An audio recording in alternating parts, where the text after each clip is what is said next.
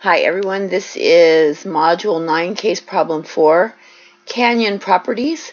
And right off the bat, I'm going to save this just as you guys should all be doing, just so that um, I don't accidentally write over it. There are a few things initially in this assignment that I just would not do that, um, well, I just think they're poorly written instructions, as usual. So let's see here. KMM revised. Canyon prop. I'm just going to put that. That's fine. And I'm saving it in my Sierra College. It's different than yours. But anyway, okay. So here we go. There are some things that I recommend that you change, and we're just going to go off the grid right away. And I always take the color off, as you know by now. You don't have to. You may do what you choose. Actually, I've been remiss. In case I didn't show you this before, if you hold down Shift and select the end, and then you select this and you go no fill and black text, you can change all of your pages at one time. Yay! Okay, moving on. In case I have ultimately been remiss in this as well, when you have all your sheets selected and you have selected my favorite little triangle up here, you can also unmerge cells for all your sheets. That should be, again, one of your regular habits when opening a document. As you will notice when you scroll through these, all of them have the, the heading Canyon properties. The only reason I'm not going to recommend you change that is when you get down here to financial statements and depreciation, they're really long um, landscape type forms and your heading's just going to not match anyway. I might actually leave it to the left. As you can see, I changed this uh, documentation sheet. I take the damn lines out because they bug me. And uh, again, all subjective. Here we go. So on step three, um, actually, yeah, it says three. A reference error appears in the, through the workbook um, if in the financial statement worksheet. So if we look here, okay, so there is a reference error. Here's the deal. There's a reference error because there is nothing in the cell depreciation C10. It's all reference errors. So let's just skip that and we'll make a note and revisit it should we need to. I don't think we need to. So let's just skip three and four and move on to step five. Now step five, I'm going to insert something here, and I believe that you need to name cells before you go any further. Okay, so now I pretty much have it the way I want it. I would take all of these lines off. I hate them, but you guys should know that by now. Again, I think professionally in any office situation, I've already taken them off there, in any office situation, I don't know about here. I'm going to leave these because I'm not sure how I feel about those yet whether we need them. Probably not, but I'm going to leave them for now. Okay, so now we are on step 5A, but we have, oh, you should have named cells. When you pull down your little name box, if you've named the cells as I have, you should have stuff like this. Again, there's no rhyme or reason, no rules to what you name things as long as it's clear. Um, there are, so when you click in there, years to hold, annual inflation, ideally, if you were to get hit by a bus tomorrow, someone could sit in your seat and know what the heck your form was supposed to show. Now, in things like future value and present value, PV and FV are common abbreviations, so I stuck with those. But ideally, like approved percentage rate if you're buying a car would be APR, those kinds of things. Uh, then I did. I named a couple of cells on the depreciation sheet. I named salvage value and salvage years. I'm not sure that we're going to need them, but it is a good habit to get into because those things, while the values may change, what they represent will possibly be used in formulas. So now um, to instruction 5A. In cell B5 on home info, otherwise known as years to hold, this is also going to help you learn the formulas much better. As I said from the beginning, enter 10. Okay, great. So we enter 10. And then in B6, we're going to enter 3.7. So that's annual inflation. Again, easier to remember when you're doing formulas. Property tax rate is 2.1. Rental income tax rate is 29.5. Again, um, easier to use in formulas when you know what they represent. B7, B8 really doesn't mean a damn thing. B9, 38.3. So tax rate on sale all makes sense to me. Okay, um, Perfect. So now we're on the second page of the assignment. Step six, and actually I'm going to stop the recording here. On number six, module nine, case four, we need to, let's see, instruction six, in cell B12, which if you're like me, you have named depreciated value. Let's see here. B13, let's see, B12, use F, uh, B12 on home info, future value. So it says, oh, okay, use the future value function to calculate the future value of the home. So we need to put a formula in here even though we've given it a name.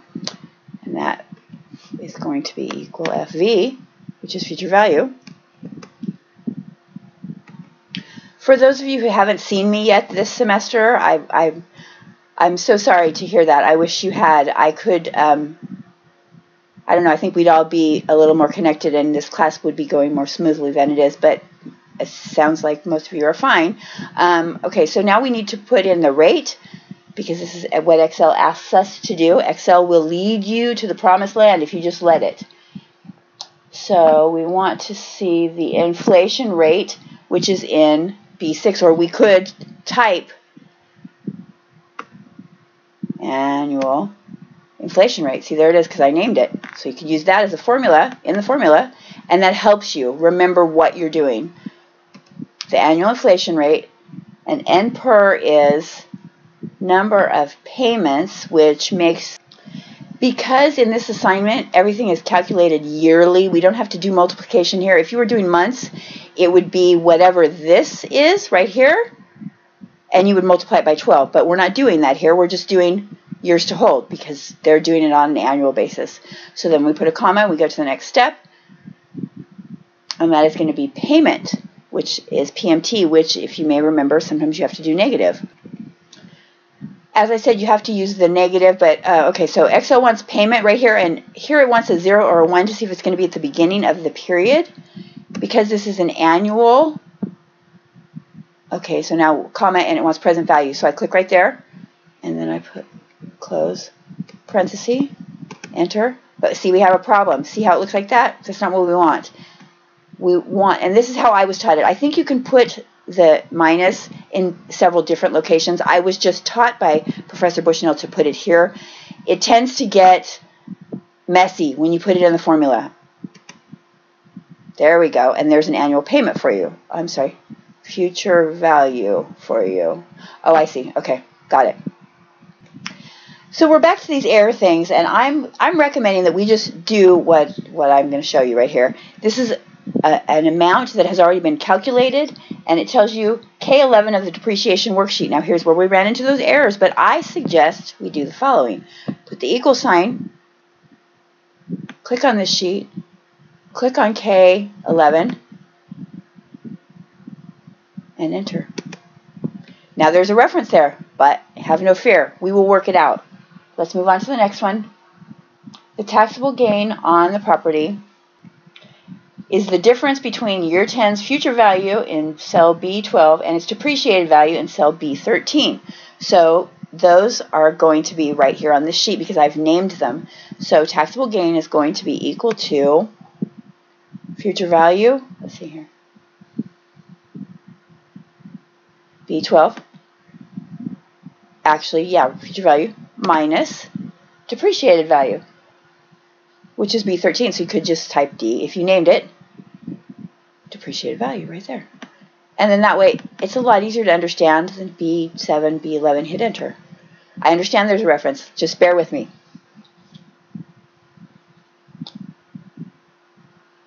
Step 9, calculate the resale tax based on the tax rate on the sale applied to the taxable gain. That's a fancy and very confusing way of telling you that the resale tax is going to be equal to the amount that we gained here times the tax rate on the sale, which we've named, and look at that. Isn't that lovely? I understand we still have a reference. Bear with me. It'll work itself out. Step 10 is where we're going to resolve our problem. So we want to click on the financial statements worksheet, our problems with the reference and the values. In cell C6, and I did not name these because there's rental income for year one, year two, year three. You could do that, but it's just more work than it's worth, in my opinion. Enter 36,000. Nice. Enter. Here's the key. You have to make sure that your cells are formatted as accounting. So let's just do that right now. So if we take all these and you just hold down the shift key and go over here to the, well, let's see. This is the end. I'm not holding down the shift key now, but we clicked on that first cell. We're going to hold down the shift key. We're going to just go like this.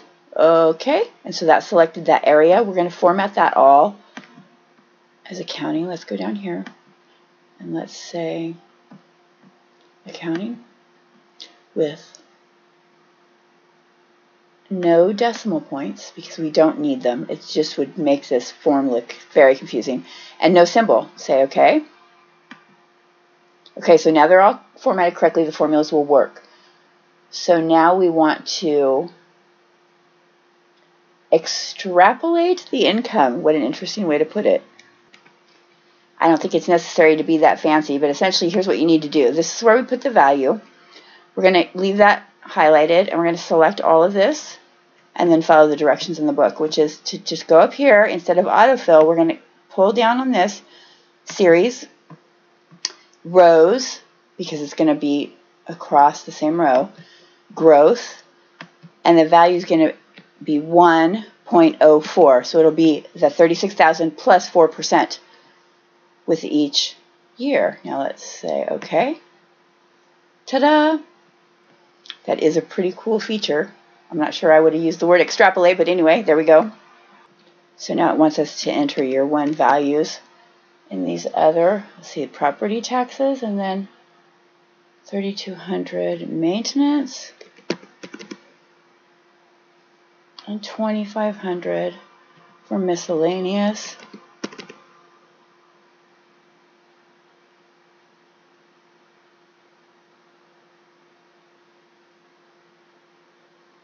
So let's just see if we can do them all at the same time.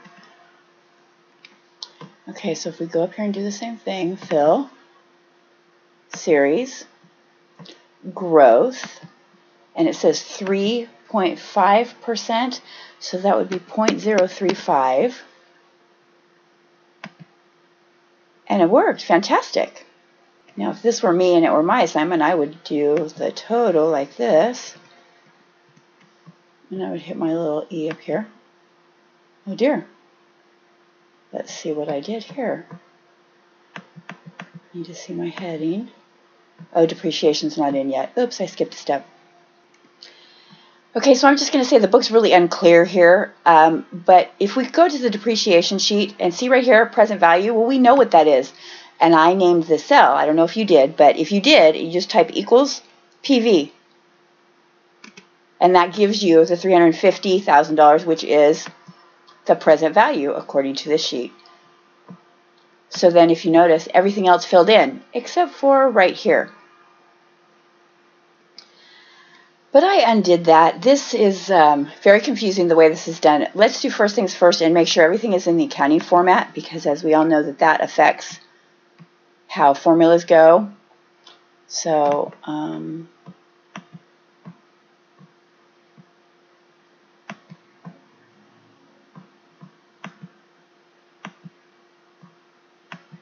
Okay, and then because these are all in dollars, we're going to do the same thing here. Not currency, never currency. Always accounting, no dollar sign. No decimal points except for payroll and percentage.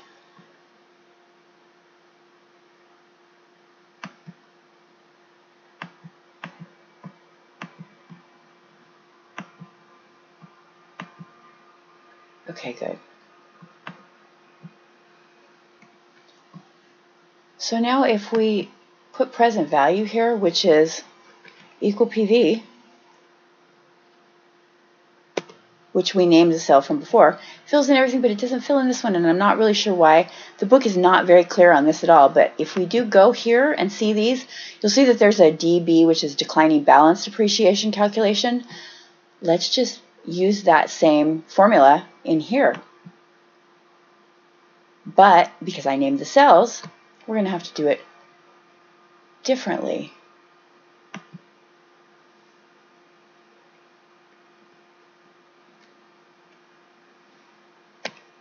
PV, the name, not the function.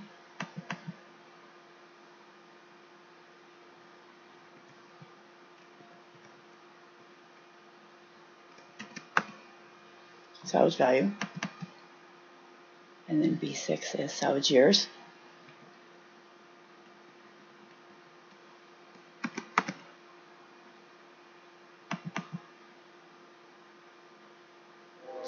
And then B9 is just year one. I would leave it just as B9.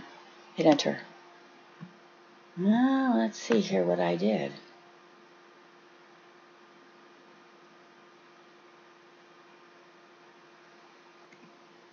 Uh, I accidentally put a multiplication. That doesn't need to be there. Now I think everything will be fine. Okay.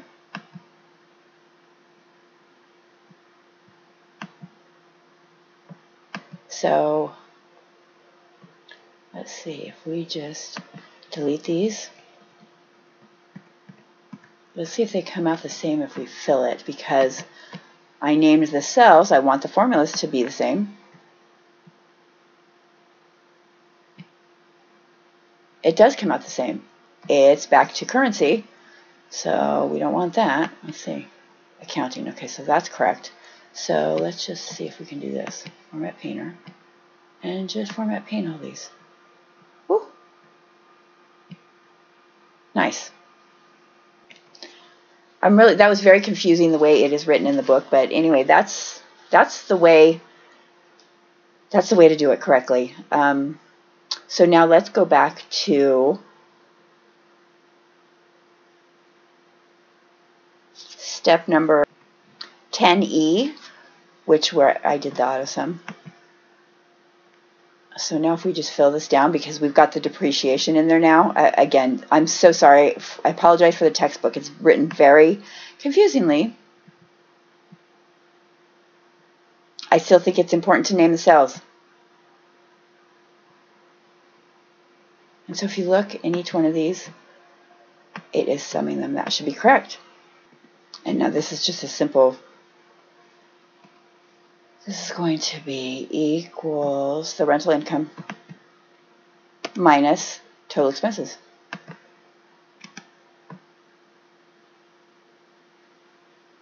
And then we're just going to fill it.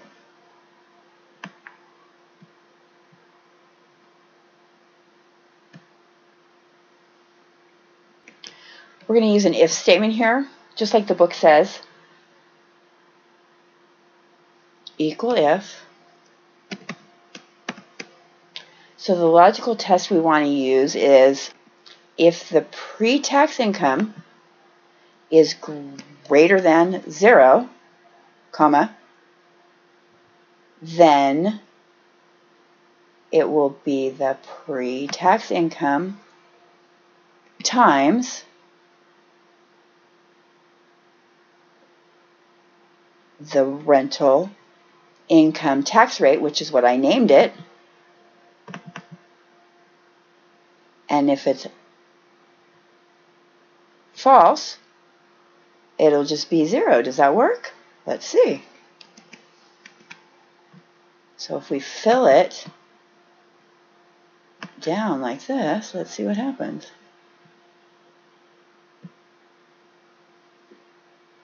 Looks good. So now 10H, calculate here.